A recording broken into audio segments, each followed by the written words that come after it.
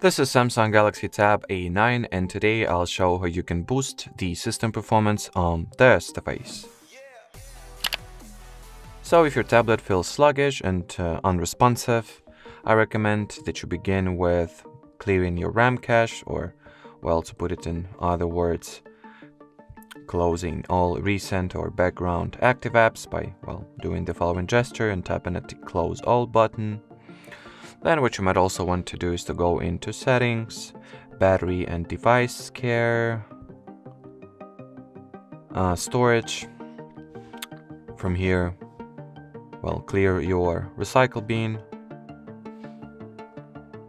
or empty it rather then you can make more thorough uh, storage cleanup as well by launching the Google Files app, if you have it on your system of course.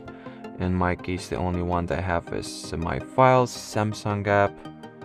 So let's see if it comes with any built-in cleaning tools or cle cleaner. Well,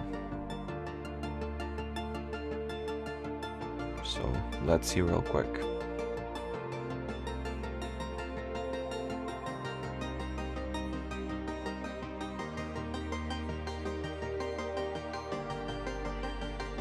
Yeah, probably you'll need to just download the Google Files app and clean your storage using that, but that's fine.